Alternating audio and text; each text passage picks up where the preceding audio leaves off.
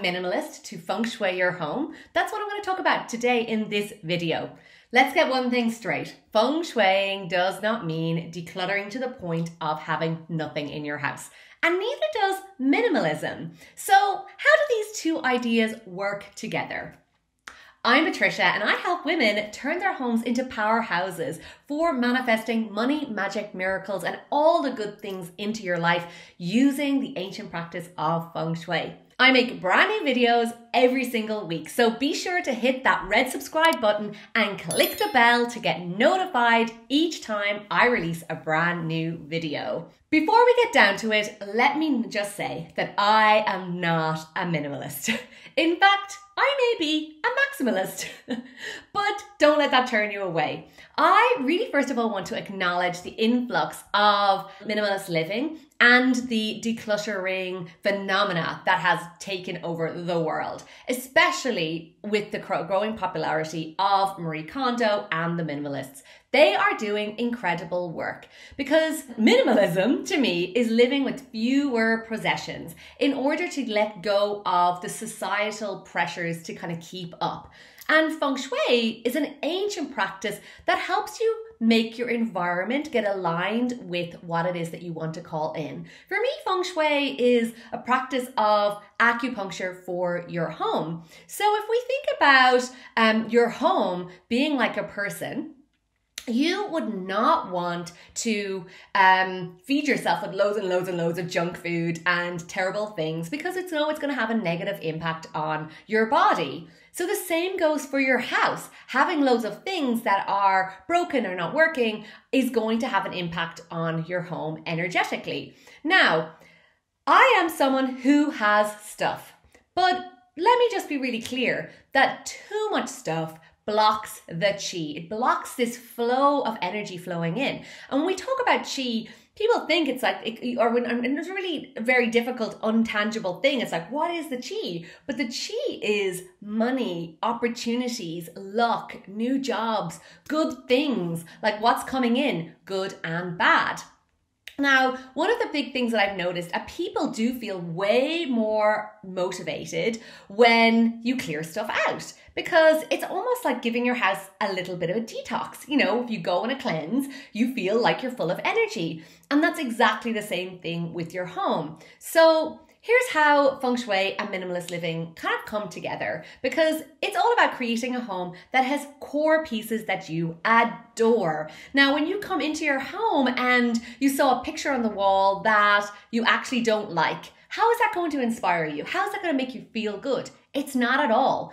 So your home should only have pieces in your home that you love. That you come in and you're like, yes, I love my office chair. I love my bed. I feel so comfortable in it. Yes, that couch makes me feel good.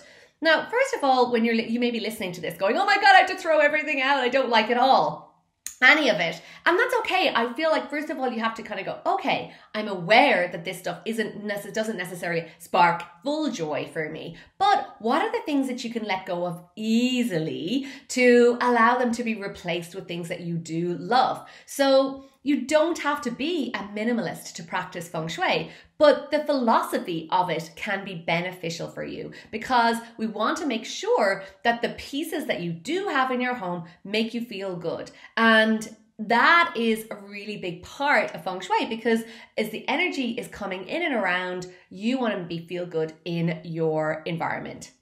Now, having a lot of stuff um, it may mean just giving yourself a time to reflect, like move around your house and see the different items in your home and say, Am I using it? You know, is it difficult for me to let go? Now, if it is difficult or it feels like, Am I using it? And the answer is, No, I'm not using it. You're like, Okay, well, I'm not using it. Um, am I ever going to use it? Mm, I don't know. Am I ever going to use it? Yes or no. If you're never going to use it, or if you haven't used it, and have I used it in like six months, six months. No, I haven't. So then, and you're like, and there may be a resistance then to letting it go. Maybe it cost a lot of money. Maybe it's related with something to your past. And if it's difficult to let go on that level, that's something you need to definitely address. Because for me, it's important for us to have things in your home as a feng shui consultant that I love em- emphasizing. It's important thing to have things in your home that are aligned to where you are going, that are practical, that are useful, and that are aligned with the type of life that you want to create. Having things that are associated with the past that are difficult to let go, maybe there's a little bit of residual like holding on to the past. And the thing is, if you keep looking backwards, you're going to fall over um because you can't go forwards and backwards at the same time. But if you start focusing on where you want to go, that is going to make a big difference because you want to make your home a vision board for your future, for what it is that you want to call in for where you are going.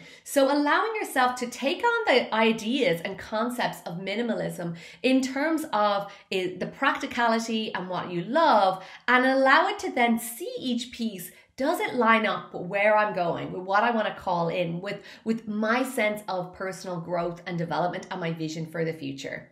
So, Here's how to embrace minimalism and practice feng shui. Have a few key pieces that intentional pieces that make you feel really good. Get rid of artificial plants. So, artificial plants, they basically allow the energy to come in and kind of create stagnant energy because they're not alive and they're not breathing. So, we want to clear those out. Get rid of and pare down what is in excess. So, like loads of books, for example. Now, you may be a big avid reader, and that could be a really difficult one for you. And that's where you have to go, like, am I going to read these books again? Do I love them? And if you're not going to read them again, perhaps somebody out there would just love the wisdom from that book. So start to see how you could release some of those things and pare down some of the excess. And it doesn't mean a full clear out of everything. The next place for feng shui to make sure that chi is moving and that the energy is not getting stagnant and stuck is to clean out the cupboards that haven't been touched in months. So just think about even we think of the idea of like move uh, if you have a beautiful moving little pond and then the, the it stops moving. So the pump breaks and it stops moving. And then this pond gets all like grimy and green and gross and the energy becomes stagnant. That's the same kind of idea of what will happen in a cupboard that you haven't touched for months that has all of these like, you know, paperwork and stuff that's that's just not being used or required. We want to clear it out. So we should ha- use things in our homes as much as possible. Make sure it's being used and that will then make sure that the energy is going to to um, circulate because stale energy blocks the flow of energy, which is not what we want in our homes. And it will really hold us back from moving and calling in what it is that we want as easily as we can. Now, as I said, I'm not saying you have to get rid of everything. An empty house could actually have really bad feng shui because when I work with people, client clients, we're working with feng shui is acupuncture for the home. So it's like the invisible energy. But what we can talk about today is what's on the visible, like on the aesthetic. So I have a fun exercise for you.